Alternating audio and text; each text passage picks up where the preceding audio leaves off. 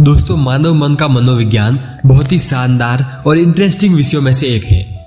आज के समय में मानव मन के ऊपर बहुत सी अनुसंधान होने के बावजूद भी बहुत सी बातें एक रहस्य बनकर रह गई है।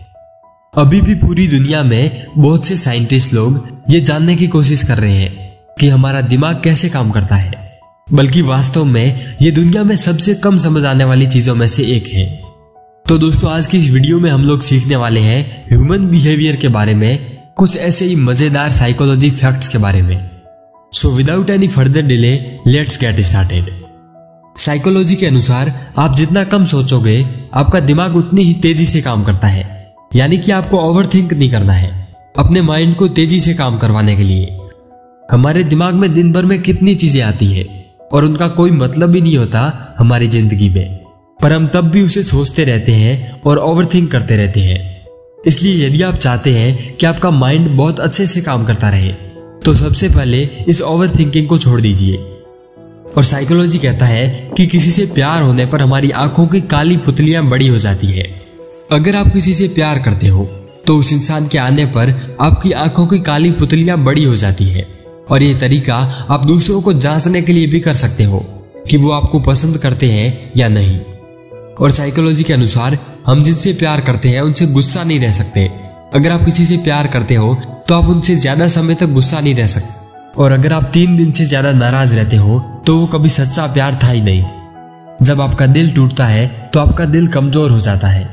साइकोलॉजी कहता है कि जब आपका भरोसा टूटता है तो आपके दिल के काम करने की प्रक्रिया कमज़ोर हो जाती है। अर्थात दौरे पड़ने की संभावना बढ़ जाती है।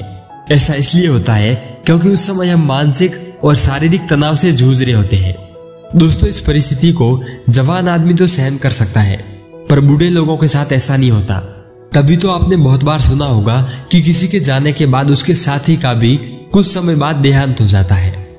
तो बात करते हैं अगले फैक्ट की। आप अपनी विजुअलाइजेशन से अपनी स्किल को बढ़ा सकते हैं, यानी कि आप अपनी सोच की शक्ति से अपनी कला को मज़बूत बना सकते हैं। दोस्तों, विजुअलाइजेशन आपके दिमाग का एक बहुत ही पावरफुल हथियार है। आप इसको ऐसे समझ सकते हैं कि एक आप है और एक विजुअलाइजेशन यानी आपकी तलवार। तलवार की कला में निपुण बनने के लिए आपको तलवार के साथ बार बार प्रैक्टिस करना होगा। अगर आपको किसी ऐसे इंसान के सामने लड़ने को भेज दिया जाए, जो 10 साल से तलवारबाजी की कला में निपुण है, लेकिन उस इंसान के पास जंग खाई हुई तलवार है और आपके पास पैनी तलवार है, पर क्या तब भी आप उसके सामने एक मिनट भी टिक पाओगे?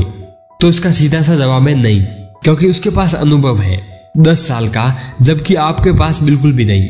इसलिए कभी भी अपने आप की किसी दूसरे से तुलना मत करना, क्योंकि आपको क्या पता, आपके सामने वाला एक साल का निपुण है या दस साल का। और अपनी कला में निपुण बनने की कोशिश करिए।